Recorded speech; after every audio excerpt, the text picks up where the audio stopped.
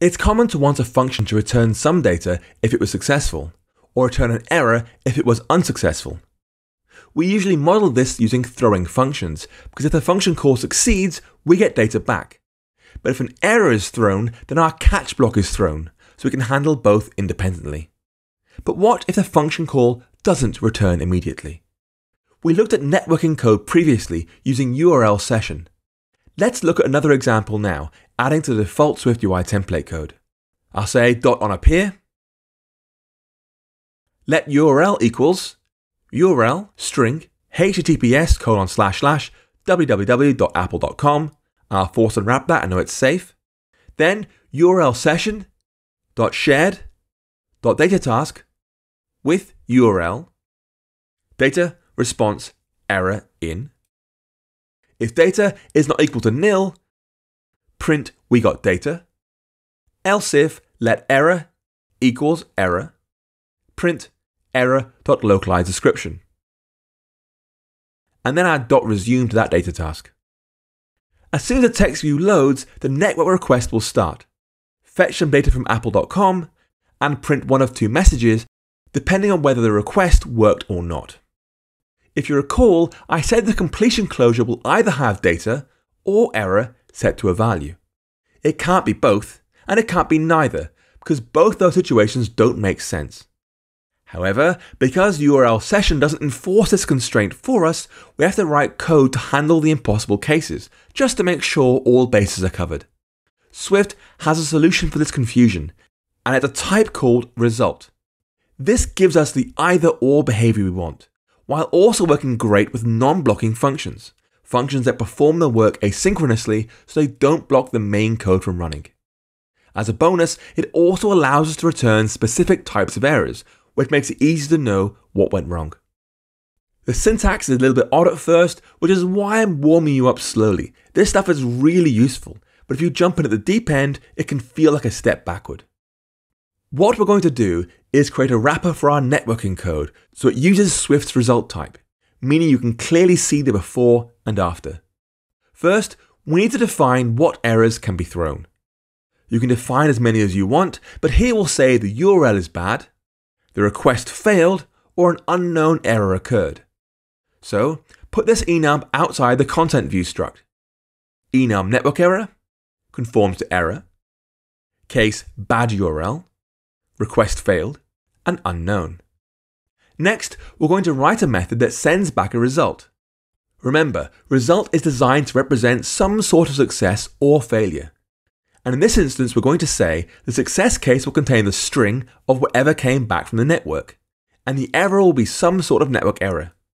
We're going to write the same method four times in increasing complexity so you can see how things build up. To start with, we're just going to send back a bad URL error immediately, which means adding this method to content view. Func fetch data from URL string, string, and it return a result string network error. Inside there, I'll say dot failure dot bad URL.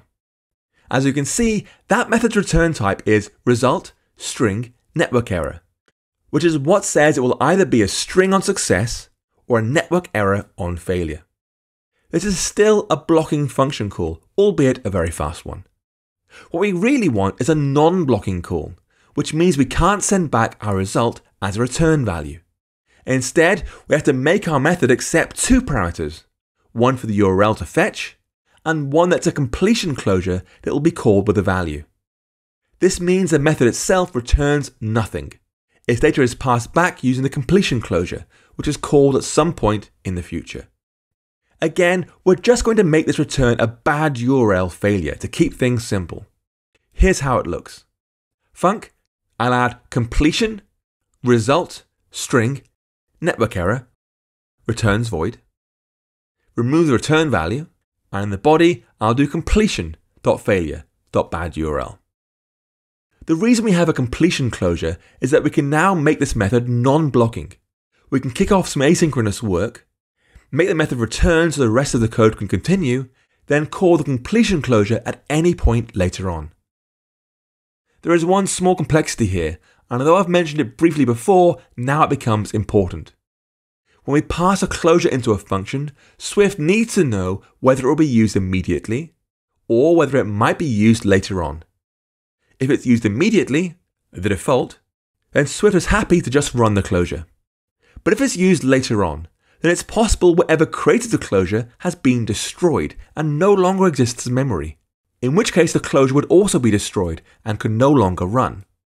To fix this, Swift lets us mark closure parameters as at escaping, which means this closure might be used outside of the current run of this method, so please keep its memory alive until we're done. In the case of our method, we're going to run some asynchronous work, then call the closure when we're done. That might happen immediately, or it might take a few minutes. We don't really care. The point is, the closure still needs to be around after the method's returned, which means we have to mark it at escaping. If you're worried about forgetting this, don't be. Swift will always refuse to build your code unless you add the at escaping attribute. So here's the third version of our function, which uses at escaping for the closure so we can call it asynchronously. I'll add at escaping here, and then use dispatch queue.main.async around our completion closure call. Remember, that completion closure can be called at any point in the future, and it will still work just as well. And now for our fourth version of the method, we're going to blend our result code with the URL session code from earlier. This will have the exact same function signature. It accepts a string and a closure and returns nothing. But now we're going to call the completion closure in different ways. If the URL is bad, we'll call completion.failure.badURL. If we get valid data back from our request, we'll convert it to a string, then call completion.success if we get an error back from our request, we'll call completion.failure.requestFailed. If we somehow don't get data or an error back, we'll call completion.failure.unknown. The only new thing in there is how to convert a data instance to a string, but you'll see that in just a moment. Okay, let's write the fourth pass of our method. First, we'll check the URL's okay, otherwise return with a failure. Guard let URL equals URL string, URL string, else completion dot failure dot bad URL and return. Then URL session dot shared dot data task with URL data response error in. Inside here, the task is now completed. We can push our work back to the main thread. So I'll say dispatch queue.main.async then if let data equals data. If we're here, it means everything's worked. We can convert the data to a string and send it back. To do that, we say let string data equals string decoding data as utf8.self. And then call completion.success string data. Else if error is not equal to nil, if we're here, we had a network failure. So I'll call completion dot failure dot request failed. And then else, this really ought not to be possible, yet here we are. We'll do completion dot failure dot unknown. And then resume the data task. I know it took quite a bit of work, but I want to explain it step by step because there's a lot to take in. What it gives us is a much cleaner API, because we can now always be sure we either get a string or an error. It's impossible to get both of them or neither of them, because that's not how result works. Even better, if we do get an error, then it must be one of the cases specified in network error, which makes error handling much easier. All we've done so far is write functions that use result. We haven't written anything that handles the result that gets sent back. Remember, regardless of what happens, the result always carries two pieces of information the type of the result, success or failure, and something inside there. For us, that's either a string or a network error. Behind the scenes, result is actually an enum with an associated value, and Swift has a very particular syntax for dealing with these. We can switch on the result and write cases such as case.success let's stir to mean if this was successful, pull out the string inside into a new constant called stir. It's easier to see all this in action, so let's attach our new method to our onAppear closure and handle all possible cases. I'll say self.fetchData from apple.com result in. Switch result. Case success let stir, print stir. Case dot failure let error, switch error.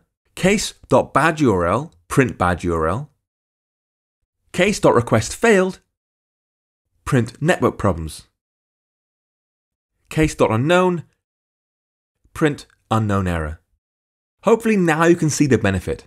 Not only have we eliminated the uncertainty of checking what was sent back, but we also eliminated optionality entirely. There isn't even a need for a default case for the error handling because all possible cases of network error are specifically covered.